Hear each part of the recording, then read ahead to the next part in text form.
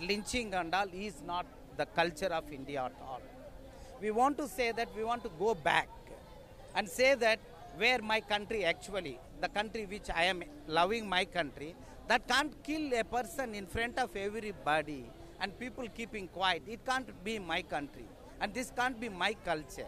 What I feel here, whole this thing, this they gradually developed. It is not the mob. It is not the people coming and the anger or anything. Instantly, you develop a kind of a hatredness within the majority, and you are started just lynching the people.